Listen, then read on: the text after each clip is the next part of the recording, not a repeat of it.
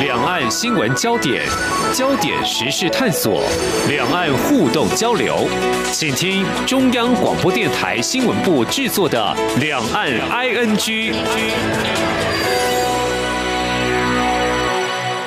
听众朋友，你好，我是黄丽杰，欢迎收听两岸 ING 三十分钟，一起掌握两岸新闻时事焦点。我们知道，台湾经济是以出口为导向，自然就需要致力低关税，还有提高我们的产业竞争力。但是呢，在美国和中国大陆两大经济体的竞争之下呢，加入区域还有国际经贸组织，近年台湾可能就得做出选边的抉择了。好，我们提到在去年。十月份的时候，我们留意到美国总统拜登他提出印太经济架构。那么在今年二月份的时候，已经对外公布相关的文件，大致是勾勒啊一些内容轮廓，包括有数位经济啦，还有相关连结、强化科技供应链韧性等等。当然，我们台湾已经表达了参与的意愿，而在上周呢，也获得两百位跨党派美国众议员联名致函拜登政府，呼吁邀请台湾加入印太经其。架构，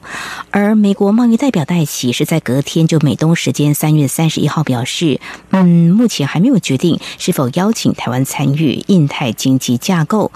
不过，美国为何推动以经济为主轴的新架构呢？未来可能会如何来运作？台湾有机会纳入成员吗？那么，如果加入之后呢，对我们的产业又会造成哪些影响呢？我们在今天特别邀请台湾经济研究院国际处区域经济研究小组主任徐俊斌观察探讨，非常欢迎主任，你好。呃，您好，呃，各位听众，大家好。好，我们就直接切入这个时间点，就是说，怎么样来解读美国总统拜登他在去年十月他抛出印太经济架构之前，他当然有提出印太这样的发展的方向了，比较属于政治面的。那台湾也都表达了，我们或许可以从多面向来进行一些合作了哦。那这个时机点跟思维，主任你怎么样来观察呢？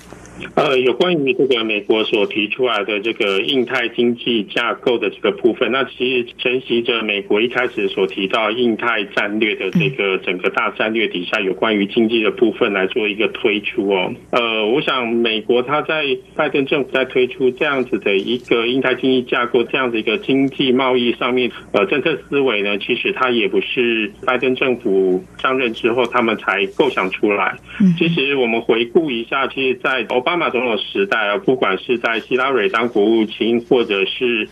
John Kerry 他在当国务卿的时候呢，其实他们大概多多少少针对美国他在印太地区的一些相关的想法，哦，都有提出来一些呃计划、一些策略。不过当时是比较着重在一些能源啊，或者是一些呃基础建设上面。那其实。呃，我们也可以想象对照一下当时美中之间的一个互动关系。当时，呃，中国他们是积极在推动“一带一路”的一个相关策略一个计划哦。所以，呃，美国当时也就有提出了这样一个相关的构想，包括那时候一个名称叫做“印太经济廊道”，倒是还没有这么广泛、这么具体。嗯，那接下来，其实，在川普担任总统以后。呃，美国就一直以美国为优先的这样一个经济跟贸易的战略。不过，当时川普他是采取这种单边主义为主。其实最具体的就是美国一直要攫取他们自己本身在经济贸易上面的一个利益，所以他们推动跟日本啊、韩国、印度等国这些双边贸易协定呢，都是希望说从中来呃获取对美国更有利的一个贸易的一个利益哦。嗯，那。现在在拜登政府推动的架构底下，它就跟过去川普执政四年那时候是非常的不一样。啊，我们看过很多的评论，就是说，啊，对于川普政府，他在过去的四年里面，其实让美国跟美国他的盟国之间的一个关系，跟过去是大不如前了。呃，许多国家也因此对于美国的这个不信任而推出的自主独立的一个呃贸易政策，包括欧盟的部分。嗯，啊，所以呢，在拜登政府开始执政之后呢，他就开始恢复跟他们所谓的盟国之间的一个外交，包括欧盟啊、北大西洋公约组织，然后这个日本、澳洲、印度，嗯，来进行四方会谈，对，啊等等。其实这一整个相关的一个架构呢，其实从拜登政府一上任，一直到去年十月，然后一直到现在正式的提出来这个印太战略架构的一个 model，其实大概都是有迹可循的。是，那么美国总统包括之前的奥巴马，还有之后的川普，到现在的拜登政府呢，我们可以从啊所谓的重返亚洲或印太战略到现在，当然也有人说，是不是拜登政府延续川普政策之后呢，也是在强化一个强化版哦。但不管如何，这是一个经济面向的一个推动哦，所以我们也可以知道，就像刚才主任所提到的，拜登上任之后呢，啊力推四方安全对话哦，英美联盟。还有这个未来实现的印太经济架构，似乎呢，这所谓的三大支柱是可以期待的。那么谈到这里呢，或许有些听众朋友也会在想，这几年看到川普在位期间呢，他退出了很多国际的组织哦，像刚才主任就有提到，因为他比较属于采这个单边的策略，没有多边的这个机制啊，所以二零一七年就退出跨太平洋伙伴全面进步协定。当然，现在我们所谈的是 CPTPP。美国在那个时候是退出 TPP 啦，但是以后来以日本为主导的，只是说如果重回这个 CPTPP，是不是就可以对应，或说就不要再推一个印太经济架构？还说这样子的一个看法太简单了？呃，美国的思维可不是这样。是有关于这个部分哦，就是呃，我们大概也可以回想一下，当时奥巴马总统在推呃，就是 CPTP 的前身，我们呃简称就是 TPP。就是我们一直说它是一个高标准，在这个相关的经贸规则上面非常严格的一个自由贸易协定。嗯。不过最后我们看到 CPTPP 它最后的一个成型的相关的一个内容，呃，当然 TPP 它现在的。规则，它的一些贸易的一些规范，在现在全球的 FTA 来讲，它还是非常的高标准的，这是没有问题的。哦，可是呃，对美国来讲，它想要推动的是呃比较符合美国自己所谓高标准，因为当时在谈呃这个谈判 TPP 的时候，美国为了让很多的国家能够参与，所以他们也有做一些让步。那这样子一个让步呢，其实也就。跟美国当初所设想的更高的一个标准就会有所差异啊，所以现在美国拜登总统执政了之后呢，他就认为说美国哦，他应该要继续来推动那样子的一个高标准的经济上面还有贸易上面的一个规则。嗯，哦，那从另外一个角度来看哦，就是呃，拜登政府他。在面对川普那时候的一个竞选的一个过程当中，其实还是有很多的美国民众对川普是给予支持的。嗯，那拜登政府他为了能够延续民主党他在这一次胜选之后后续的执政上面的优势，而且在今年年底也会有这个美国的中期大选。是，那他为了能够在维护美国民主党他在。呃，美国内部政治上面的一个优势呢，第一个，他没有办法去宣布说他要重返 CPTPP 啊，因为川普当时他已经否决了。那美国重返，其实呃，对于美国的一些经济利益来讲，呃，国内的一些。呃，选民或者是一些产业一定都会有一些维持，那因此呢，拜登政府他们就转另外一个政策的一个角度来推动印太经济架构。那其实呃，我们可以进一步来看印太经济架构跟 CPTPP 它最大的不同的地方在哪里？嗯因为 CPTPP 它还是有包括这个市场开放，也就是呃免关税的这样子的一个相关的一个规则存在哦。嗯那可是这样子一个规则对于美国的一个贸易来讲，它并不是绝对。具有优势的，好，就等于是说，美国它必须要开放自己国内的一些相关的市场，嗯哼，呃，那来换取它的一个高标准。如果美国它决定要重返 CPTPP 的话，是，可是今天如果美国它在推物块经济架构这样子一个政策，从这个这样子一个方向来做推动的话，它可以只去推动它想要推动的高标准的贸易规则，嗯，它就不需要去开放市场贸易。呃，过去跟现在大家有这样的一个区别。不过现在呃，包括这一阵子哦，把 USTR 的这个代期，嗯，啊，他也有呃，在美国国会呃做一些听证。那其实我们就会发现说，不管是美国国会或是美国。企业甚至有一些部分美国相关的专业人士仍有声音向政府来游说，说认为美国仍然应该要以这个市场自由化来吸引印太的国家。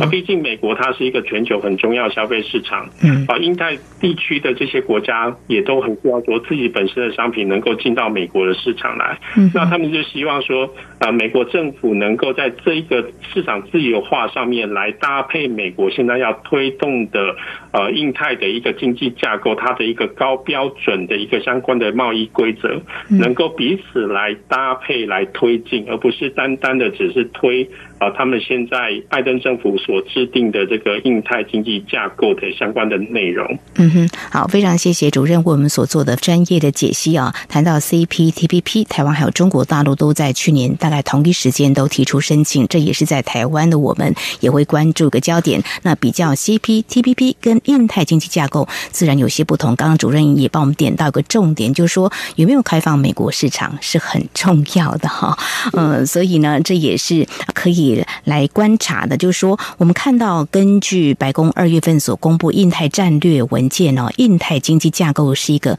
高标准的贸易行为，没有错，跟 CPTPP 都是一样。但是呢，戴奇就说，目前还在建制当中，就所涵盖的面向，包括数位经济啦、数位连接啦、科技供应链韧性等等，减碳啊，还有洁净能源，还有基础建设投资等等，都是。那么，如果以区域经贸或多边协商机制来观察。嗯，目前大概推估可能会是一个对话平台而已嘛，或者说规范的一个贸易组织，它的运作模式可能会是什么样的样态呢？呃，从美国现在呃相关的一些政策讯息来看啊，就是呃这个印太经济架构，它应该不会是一个多边的经贸协定的方式来做呈现。哦，那当然。呃，现在因为美国也积极在运作有关于 WTO 世界贸易组织的一些相关的改革的一些动作，所以呢，美国应该也不会把印太经济战略把它呃另起炉灶，弄成一个呃国际的经贸的一个组织的方式来做一个推动。那我们从呃过去的一些相关的一个讯息来看，它比较呃会具有可能性的，就是说。它会是一个多层次、多面向，然后是由美国所主导的一个经贸架构，或者是一个合作机制。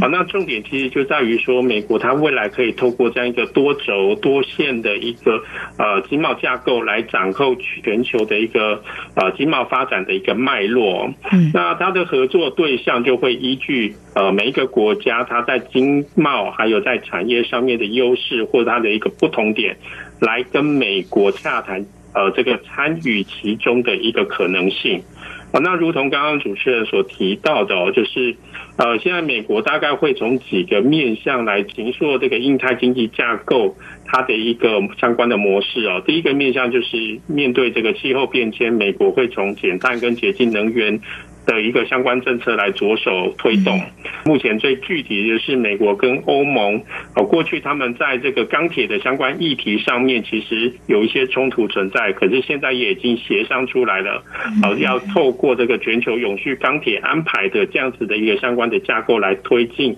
啊彼此之间的一个合作关系。那美国也希望借由这样子的关系，能够来确保美国在这个产业上面的发展跟它的一个就业机会。嗯，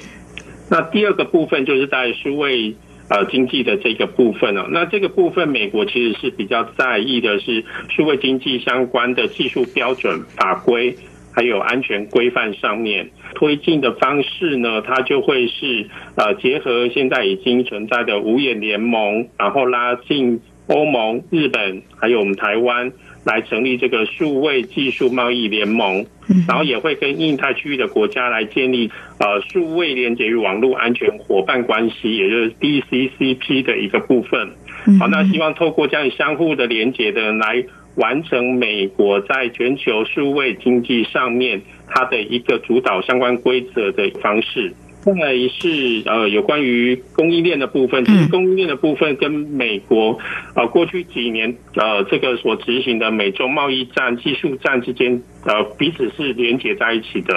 那美国在这一段时间也发现了，美国他们其实最需要确保的在是在新兴科技上面的一个推展。啊，所以近期呢，大家就可以看到跟发现，尤其美国国会通过很多的法案。的一个制定呢，来确保啊，尤其是在这个半导体上面的一个美国供应链的一个连接的一个部分。呃，第四个部分，其实我觉得也是非常重要的，其实就是呃，美国希望透过这个议题呢，来建立美国在经贸上面一个最新的一个价值。那它就是建立重视劳工权益的一个产业供应链。嗯，那美国就希望说，透过这样子一个产业发展跟劳工就业的一个机会。的一个确保的方式呢，来建立全球的一个劳工的标准。嗯，好，所以在这样子一个架构之下来行塑。印太经济架构呢，大概是美国现在啊最主要推动的几个方向。嗯哼，好，非常谢谢主任您的说明跟解析哦。未来的运作模式呢，可能就是一个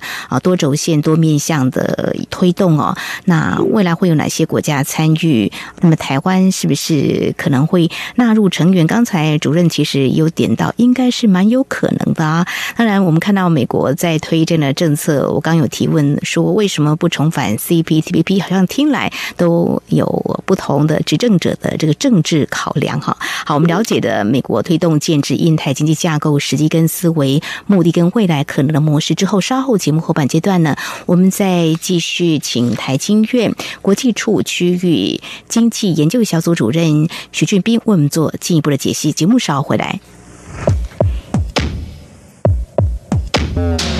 今天的新闻就是明天的历史，探索两岸间的焦点时事，尽在《两岸 ING》节目。这里是中央广播电台听众朋友继续收听的节目《两岸 ING》。我们在今天节目当中邀请到台经院国际处区域经济研究小组主任徐俊斌来跟我们特别解析美国在去年所抛出的印太经济架构，台湾有意愿来参与。那么这是一个什么样的推动模式呢？接下来我们就来看，那么在美国这样的思维之下，大概有哪些成员可能会纳入？这样的架构当中，应该就是他的所谓的盟友吧？哎，是的，找确实都是美国，当然一定是要寻找他的盟友，因为呃，美国拜登政府就一直想要呃一反过去川普执政的单边主义那样子的一个形式哦，嗯，希望说能够借由这样印太经济架构呢，能够把他在印太地区的盟友把距离拉近。呃，有哪些国家会？来参加，我们大概可以从两个角度来看，一个是比较从地缘战略角度来看哦，因为呃，拜登政府他其实在去年上任之后，在他的第一次的外交政策演说当中呢，他其实就已经明确的指出来说，美国的竞争对手是包括了中国跟俄罗斯。嗯，好，那这样子一个论点呢，其实。在去年的这个八月份左右，美国退守阿富汗的过程当中，啊，其实拜登政府也再度的提出来，啊，所以这个印太经济架构或者是印太战略，其实啊，既然它是从印太的角度来看，而且是从海往陆的方式去做一个啊相关的一个包围，那我们当然就可以去直接推测它的直接的。呃，这个对手啊，当然就是中国跟俄罗斯。那在这样子的一个从海到陆的过程当中呢，其实这些国家呃有哪些会是美国的盟友？其实大家大概也都猜得出来哦。那我们另外一个从经贸层面来看哦，美国它是想要借由不管是在供应链体系，或者是呃在劳工标准，或者是在这个创新经济。啊，数位经济，甚至是气候变迁、减碳、节能的这些议题上面，来跟他的有关于 like-minded，就是共同意念的这些国家呢，来共同建立一些呃，它的多边的合作的架构。嗯哼。我们大概也可以看得到，就是说，美国它会是多轴，然后多个面向，是每一个国家它在不同议题上面的一个呃差异性，来邀请这些国家来参与。嗯所以我们从这里面，我们也可以看得到，美国它也特别注意到各国在不同议题上面它存在有差异性。嗯，所以针对这些不同的议题呢，它会邀请不同的国家。那借有这样的一个求同存异的方式呢，也可以确保美国在全球总体的一个发展上面它的领导者地位。是，那接下来就关注我们台湾自己本身哈，那就是我们有没有可能成为架构的成员？美国贸易代表戴奇在美东时间三月三十一号，针对是否邀请台湾参与，没有正面回应。其实二月份的时候，媒体关注了这个回答，也是。一样的哈，呃，他在三月三十一号是表示，印太经济架构是还在制定中的架构，必须反映所有人跟利益相关者的观点。美方正与有兴趣参与架构的各方进行对话，但是呢，目前尚未做出任何决定。再来，我们看到也媒体报道，美国参议员梅南德兹指出，如果排除台湾，将会错失良机。那么，在这个美中贸易战影响之下，还有美国现在所想要推动这个印太经济架构，这个多轴多面向的，有很多的产业面来看，台湾是不是有可能在好？如果用取代字眼，或许不是那么的妥适，但是暂且先用它取代中国大陆成为经济产业供应链的机会是否大增？事实上，在之前 T 法各方面的一些对话，就好像有触及到供应链韧性。不晓得主任你怎么样来看呢？有关于台湾被纳入这个架构的一个成员的机会高不高？我想机会应该是不小啦。嗯，好，那甚至可以说台湾本来就在这个架构里面。我们从我们刚刚所说明的几个啊，未来美国会推动的一个议题来看哦。我想台湾要被排除在这个整体的架构之外，排除是不大的。那成为成员是机会不小的哦。我想这个印太经济架构它是一个战略体系的一个架构，它不是一个国际协定的架构，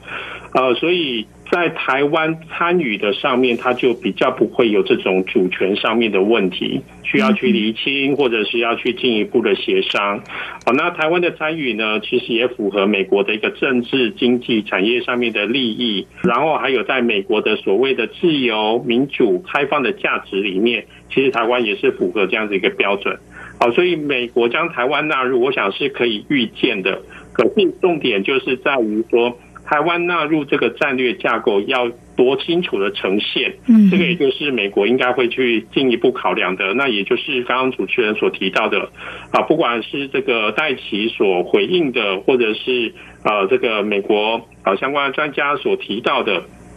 其实大家都有各自的立场。那从美国的官员啊的这样子的一个立场呈现来看，我其实我们大概也可以想象得到，嗯跟预测未来。台湾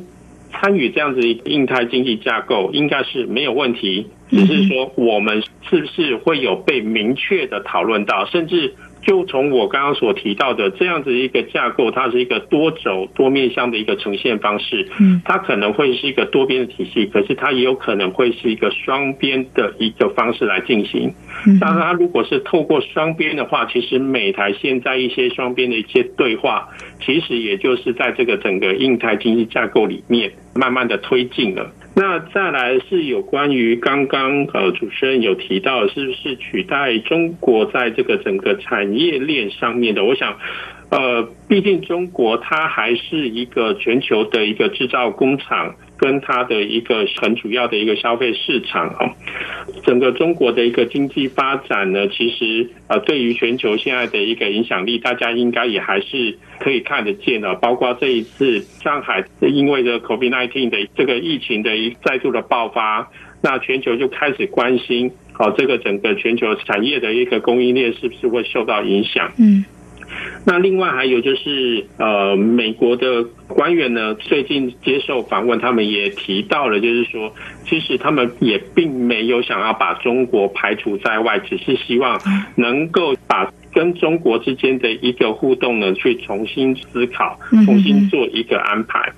好，所以。我想，中国因素它在呃整个美国的印太经济架构里面，甚至是印太战略的一个价值里面呢，中国因素是绝对存在的。可是呢，自由开放民主的美国价值，这是中国所没有的，可是台湾是有的啊，所以台湾是绝对无法被忽略的。最后还有一点就是说，中国因素还可能会影响到啊，不只是台湾，它可能会影响到印太区域的其他国家，尤其是东南亚国家。就是可以从最近的一件事情就可以来观察，就是美国跟东协国家原本在今年的三月下旬要召开高峰会议，可是却因为这个安排的一些相关的问题有所延宕哦。嗯哼，那这里面当然。背后也还有很多因素存在。那接下来这两三个月，应该就是美国印太经济战略啊，要如何来涵盖东南亚的哪些国家？现在是一个很关键的一个时期，嗯，那这一个是中国因素，它可能会影响到的几个面向。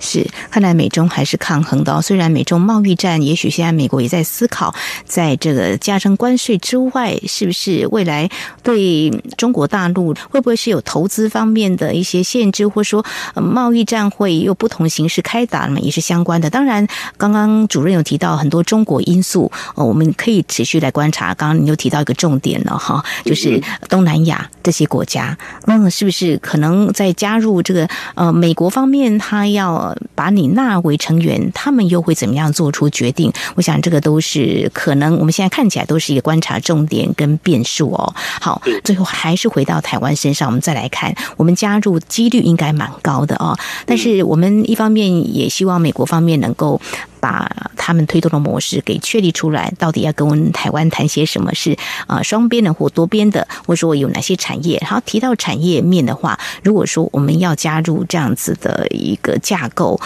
我们可以看得出来，就是说有哪些的产业可能要预做准备。呃，如同我刚刚所提到，印太经济架构它不会是一个国际协定的一个形态。好，那美国目前呢，他也没打算以市场自由化的条件来寻求啊，他的一个合作伙伴来开放市场。他最主要就是希望透过一些法规的一些呃高标准的规范，来能够跟这个印太地区的一些国家来进行合作。嗯，那从这个角度进一步来看哦，我们刚刚包括我们提到的数位经济的一些标准啊，安全性、劳工标准。然后在这个排碳标准，然后还有供应链上下游是否符合美国它的一个相关的要求，尤其比如说美国一直对于新疆呃劳动相关的条件的一个要求等等，会进一步影响到的就是技术的输出的限制。然后还有产业公司治理标准的一个透明化等等，因为它已经不是市场自由化的部分，它是比较是法规或者公司治理层面的这个部分。嗯那如果从这样的一个角度来看的话，我国呃企业呢，未来在这个议题上面，我们会面对更多的一个呃美国它的一个所谓的规则标准的一个要求，希望能够对于我们本身的企业去做一些呃调整。好，那这个部分就会反映在整个生产供应链上面。那尤其是对于中小企业，我想，呃，中小企业要去调整符合美国它所谓的经济贸易的标准的话，一定有它一定的难度。所以呢，我们也建议说，呃，政府未来或许可以从这个层面，来进一步的多提供一些相关的一些政策资讯，或者是。啊，拟定一些辅导调整的一个措施，来协助我们中小企业来去符合美国它所制定的这些标准的一些规范。这样子的话，其实我们要去跟美国所领导的这样一个全球供应链去做连接，我想对我们企业来讲，哦，也会有更多的商机上面的一个机会啊，我们可以去寻求。嗯，没有错啊，要把这个标准给奠定出来，让我们的业者能够有所遵循，来做一些调整。当然，美国也要打开它的市场哈。这个美国是全球最大的消费市场，当然我们不能够错过。也希望借由打进这个市场，来提升台湾产业的竞争力。我想这是我们会努力的。好，有关美国啊推出这个印太经济架构，未来会怎么样来推动？那么在这个后疫情时代，或许呢，我们也可以嗅得到美。国除了因应冲击持续救经济，对外经贸政策上跟中国大陆贸易战也是我们要持续来观察的。所以美中可能还是持续这个对地抗衡之下，怎么样来观察这个印太经济架构的建制推动？台湾应该是有机会来加入，加入之后呢，又会牵动哪些影响？我们在今天非常感谢台湾经济研究院国际处区域经济研究小组主任徐俊斌的观察解析，非常谢谢主任，谢谢您。啊，谢谢主持人，谢谢各位听众。好，以上呢就是今天节目，非常感谢听众朋友您的收听，华丽姐祝福您，我们下次同一时间空中再会。